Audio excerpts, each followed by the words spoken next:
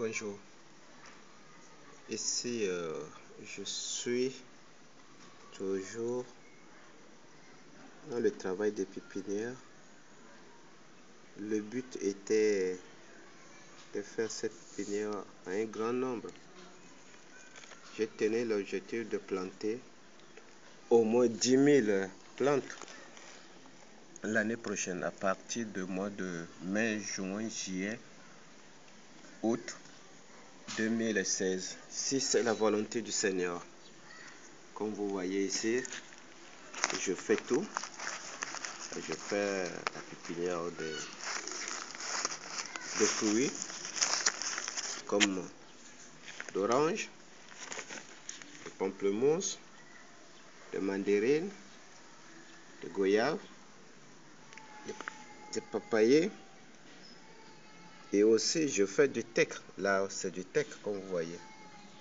Je fais du tech. Là, c'est orangé, ça commence à germer. Vous voyez, là, c'est du tech. Et ceci reste encore, ça n'a pas encore poussé. J'arrose tous les matins. Euh, J'essaye de tout faire si Dieu le permet que j'ai cet espace un peu large qui me permet de faire tout, alors ce serait une grande, bénédiction pour que tous ce fruits puissent se déporter là-bas et ça va beaucoup nous aider. Vous voyez, ça pousse un peu. Là, ça pousse ça pousse. Ça, c'est l'oranger. Ça pousse.